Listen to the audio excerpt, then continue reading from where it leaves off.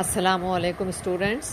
This is Ghasia Ibrahim with this is presentation number 4. Students, you have to make 3 interleaf copies for science. One for biology, one for chemistry and one for physics. Now we are starting biology chapter nutrition in plants. I have explained you uh, the chapter nutrition in plant.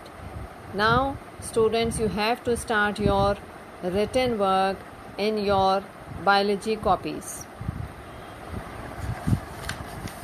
First you have to write down the date and put the uh, heading that is the name of the chapter or write down the new words. New words are given on page number 14 of your science book. I am sending the picture of these words also. If you don't have a book, you can do it from the from this presentation. Then after copying down the new words, you have to start short question answers.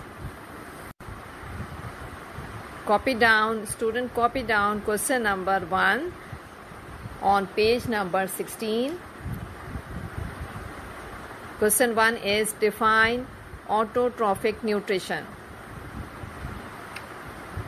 Now start the answer.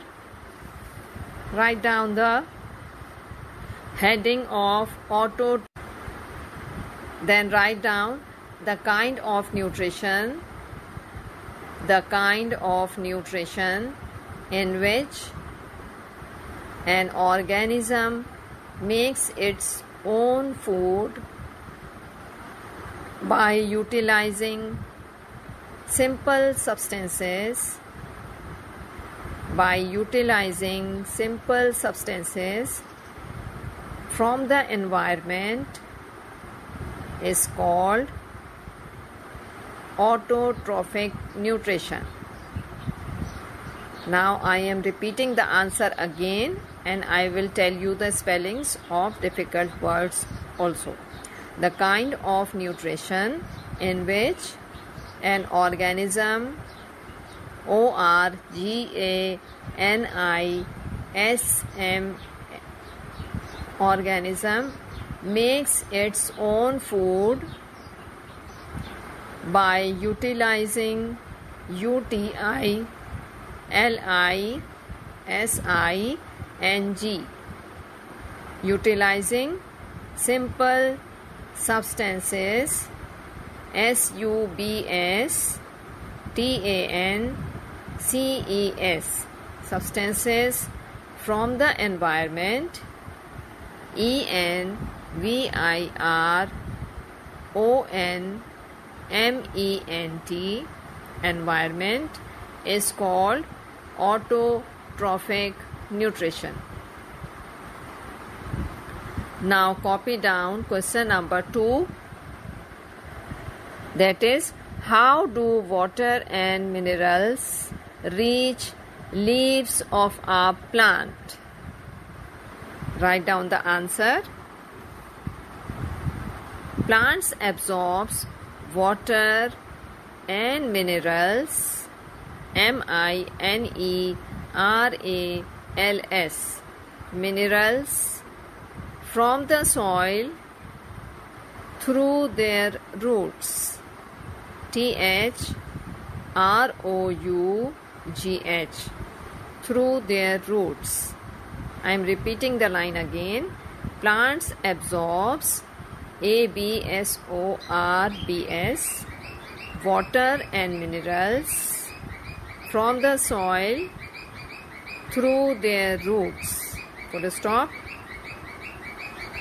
These are transported T R A N S P O R T E D transported to the leaves through pipe like vessels through pipe P I P E pipe like vessels V E S S E L S vessels present inside the roots stem comma branches and leaves. I am repeating the answer again plants absorbs water and minerals from the soil through their roots full stop. These are transported to the leaves through pipe like vessels present inside the roots comma stems comma branches and leaves now copy down Question number 3 Why are mushrooms and molds called saprophytes? Write down the answer. Mushrooms and molds are called saprophytes because and feed on dead DEAD and decaying plants DECAYING decaying plants and animal matter. Full stop. I am repeating the answer again. Mushrooms and molds are called saprophytes because they do not have leaves to prepare their own food by the process of photosynthesis. Full stop. They depend and feed on dead and decaying plant and animal matter. Now copy down question number 4. Why do organisms require nutrients?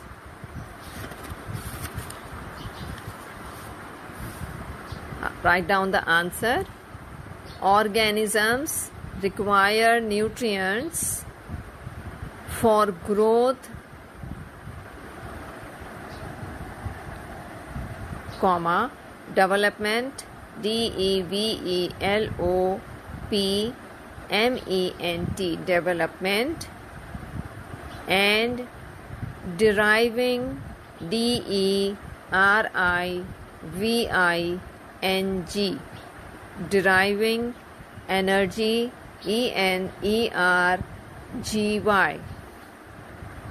To carry out C A R R Y carry out the life L I F E processes P R O C E double S E S processes. Now copy down question number 5.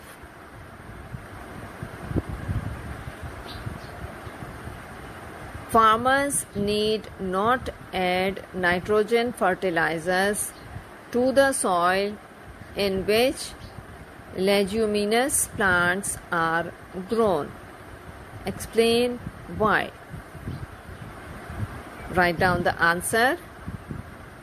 Rhizobium bacteria R H I Z O B I U M B A C T E R I A rhizobium bacteria create create C R E A T E symbiotic association a symbiotic S Y M B I O T I C symbiotic association A double S O C I A T I O N association with leguminous plants. L E G U M I N O U S leguminous plants. Full stop. They live in the roots. They live in the roots of legumes. L E G U M E S legumes and provide them with nitrogen and provide them with nitrogen that's why the farmers not add that's why the farmers do not add nitrogen fertilizers to the soil in which leguminous plants are grown. Full stop. I am repeating the answer again. Rhizobium bacteria create a symbiotic association with leguminous plants. Full stop. They live in the roots of